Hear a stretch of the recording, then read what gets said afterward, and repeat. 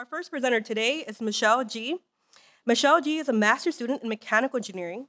Her presentation is How Plant Chemistry Plays a Role in Wildfire. Let's have a big round of applause for Michelle.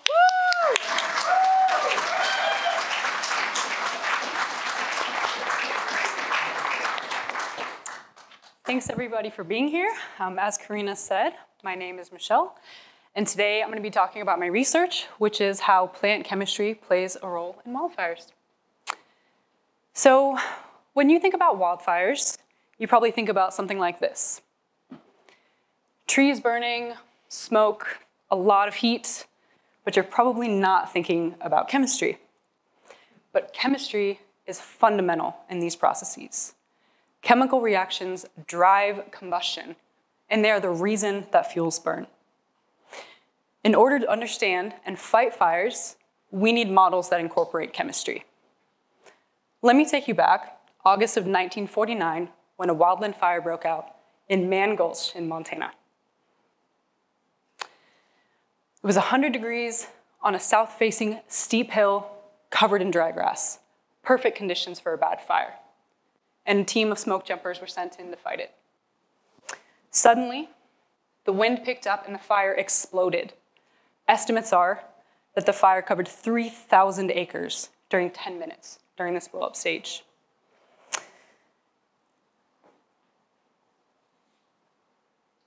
The foreman did something counterintuitive. He lit a spot fire in front of him and his men to try to burn the fuels before the fire could reach them. I don't know about you, but if I was in the situation with a fire surging toward me and my boss was in front of me and he decided to light another fire, I probably wouldn't stop to ask him what he was doing. I would run. And 12 of the men did. But the foreman's strategy worked. The fire missed him and one other man who stayed with him because it had no fuels. The men who ran away did not survive. The Mann Gulch fire demonstrated that we need research into fire mechanisms, things like combustion and fuel. These boil down to chemistry and energy.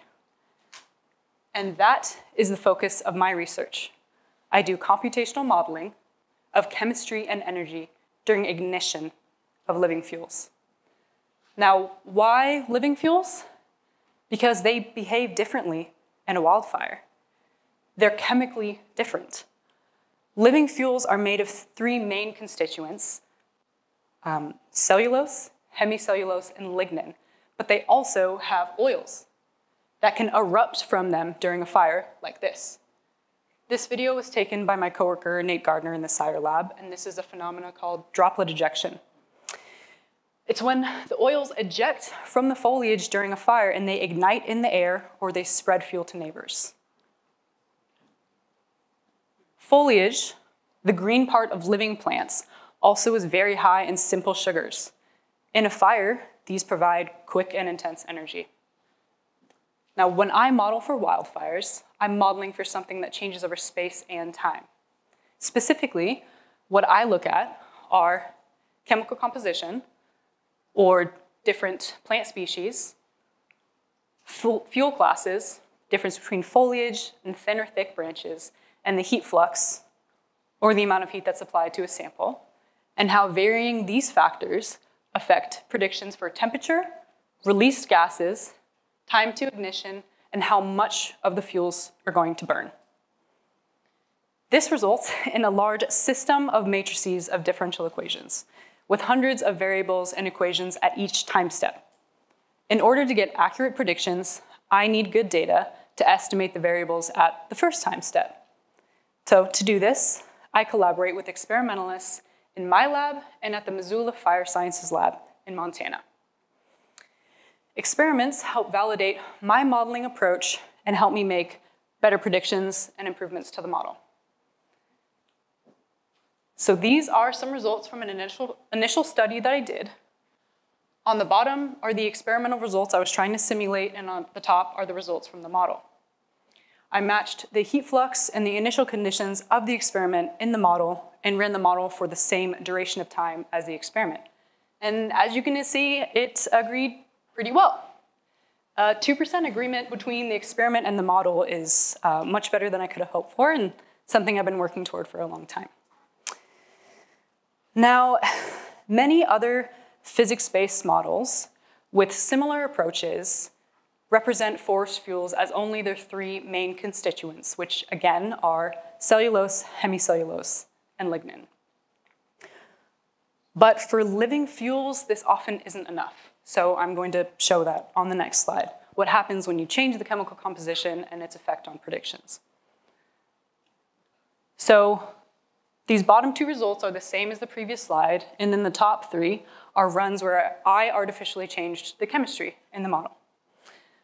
So as you can see, not accounting for cellulose changes predictions by 16%, and if I use the approach that many other people use, um, accounting for the fuel as only cellulose, hemicellulose, and lignin, it changes the predictions by 36%, 35%. So the key takeaway here is that having detailed chemistry for living fuels is very important for this type of modeling. So this is an iterative process. It's a, it's a work in progress. Um, and while I, of course, am very excited about this approach, the truth is that large-scale wildfire models cannot handle chemistry of this detail. So my goal is to communicate and incorporate key findings from my research to add fidelity to large-scale wildfire models. Thank you.